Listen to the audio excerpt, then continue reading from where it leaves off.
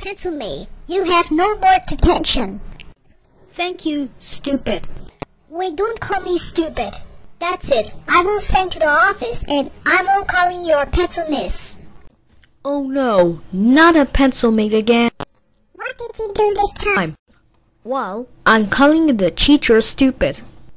Ah, Pencilmate! How can you call teacher stupid?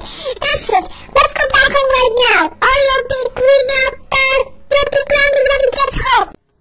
Are you going to the classroom?